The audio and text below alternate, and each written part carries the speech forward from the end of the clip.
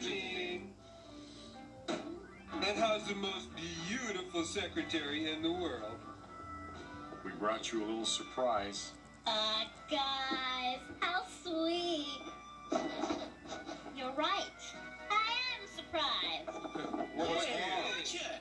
Guess she's allergic to chocolate. No, they're empty. Empty. Except Slimer!